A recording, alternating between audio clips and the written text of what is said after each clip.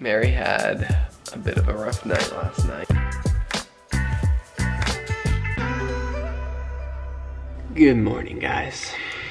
I have discovered something about ourselves that I think we just need to acknowledge we're bad at meal planning. We're bad at like grocery shopping. Um, we're just not very good at having meals on hand. And But we like cooking. we like cooking. And so today the sponsor for today's video is EveryPlate and when we just finished with a live stream on Mary's Instagram and I came downstairs and I was like, I just realized it's two o'clock and I haven't eaten lunch and I'm feeling hangry. And so I looked in the fridge and I couldn't come up with anything to um, to make for lunch and then I remembered that we had the EveryPlate box on the front step. So EveryPlate is a curated meal kit delivery service where you can choose your meals and it is one of the most affordable meal kit delivery services. Um, so we've really enjoyed um, working with them over the past year or so and the meals are fun to make. I enjoy cooking them. Everything's pre-portioned. The recipes right there. It takes the thinking out of it. So if you guys want to try out EveryPlate they are offering to you guys a great deal for your first time. You can get your first box for 179 like $1.79 per meal. And then after that you get 20% off your next two boxes. So i'll show you what we've got in here. A box of fresh produce and on the bottom are ice packs with our different meats for this week. Chicken sausage and roasted tomato linguine creamy lemon herb chicken and Greek diner style pork meatloaves. I don't know what makes it diner style, but I'm excited to try it. Any of those sound good to you, honey? Any. She said any. So I'm gonna make us some lunch. Use our link in the description. Thanks EveryPlate for sponsoring today's vlog. And now to your regularly scheduled, that's hard to say, regularly scheduled programming. Good morning guys. Mary says that I have a bouffant. Well, no. she said to me to this morning, she says, your hair is very poofy. I agree. That's why I usually wear hats.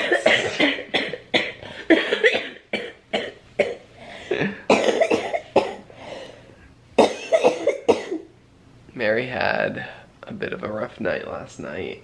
I don't know if it was the Levaquin that she started or just It felt like a med, like a med fire in my brain.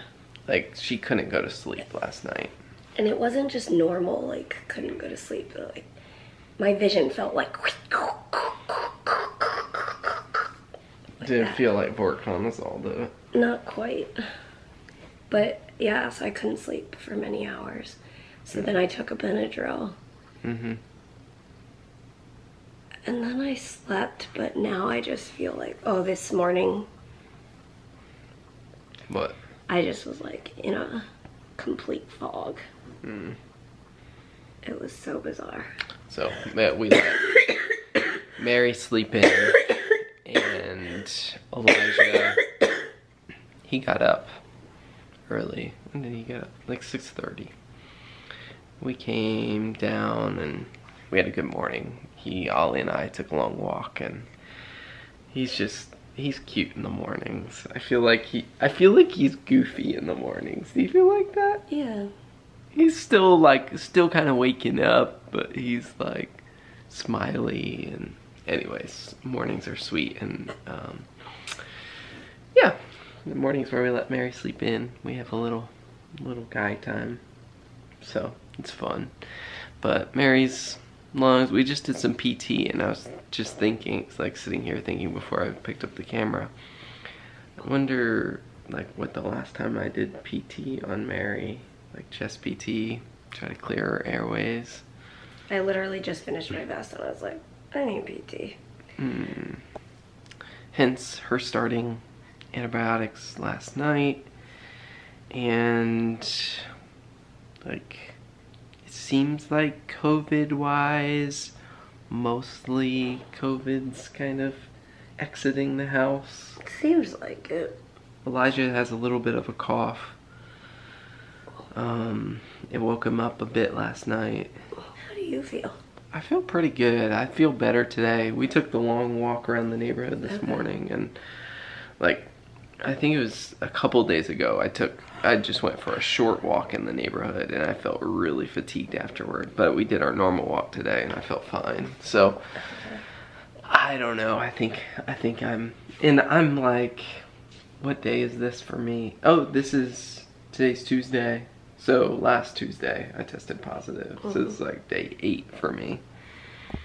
Um anyways, we're Coffee tasted bizarro this morning. Oh yeah.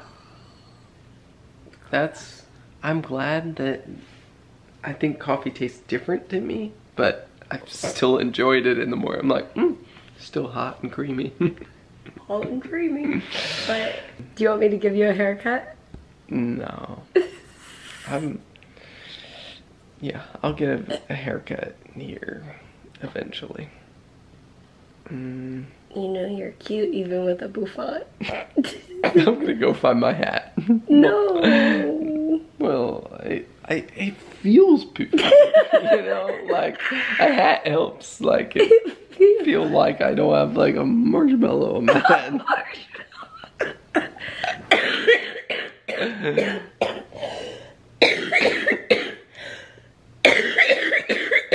Having sympathy yeah. Yeah. Coughs together. Mm. I'm ready to go up on the third floor. Oh, sure. Oh, What? should we move the cat? Oh yeah, we do want to move the cat. We have the cat currently his um litter box area is in our working room. I think we're gonna move it. We like don't use except for like one or two times a year when we have guests. We basically don't use our guest bedroom, not the third floor one. Um, like if we have guests and it's just one person or like one family, like they'll stay on the third floor. And so we have our queen guest bedroom, what used to be my office on the second floor. Anyways,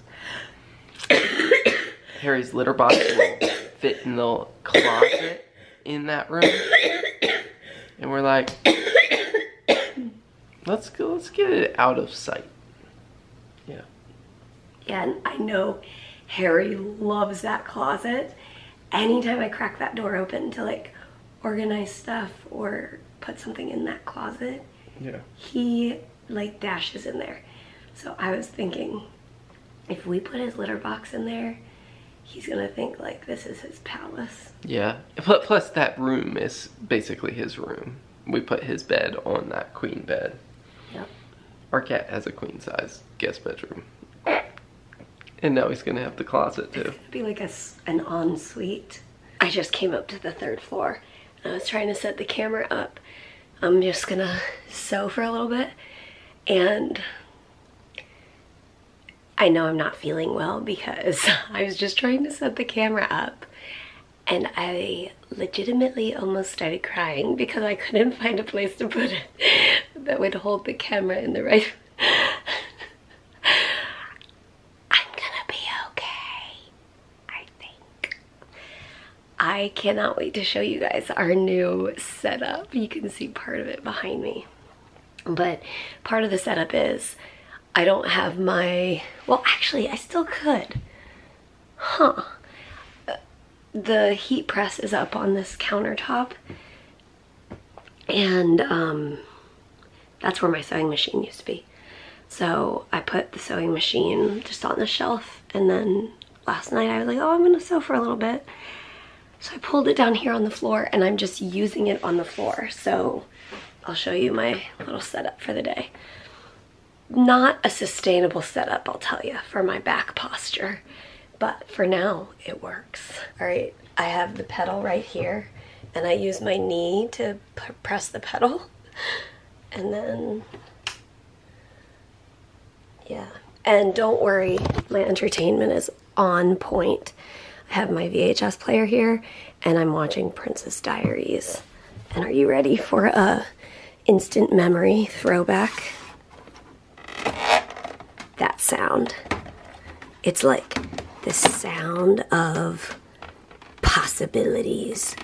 You don't know what kind of adventure you're going to go on when you pop that VHS in the machine.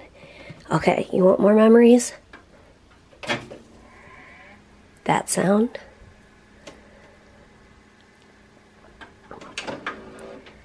That. When walking in a crowd, one is under scrutiny all the time.